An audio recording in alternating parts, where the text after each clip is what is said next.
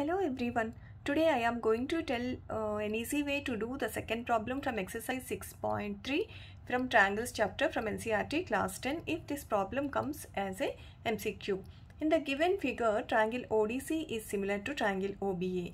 So here these two triangles are similar and angle BOC is equal to 125 degrees. So this angle is given and angle CDO is 70 degrees. So this angle is also given and here we have to find angle DOC this angle and angle DCO sorry angle DOC is this angle and angle DCO is this angle and angle OAB so this angle we have to find. These three angles we have to find.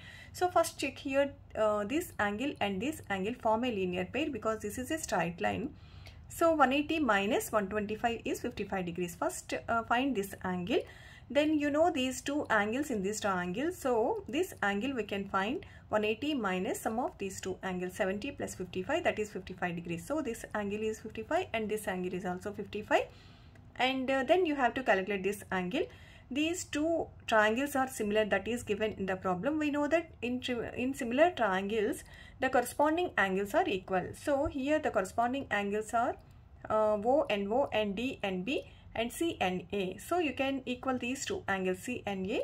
So angle C is equal to angle A. So you can directly write this angle as 55 degrees because angle C is 55. So angle A is equal to 55.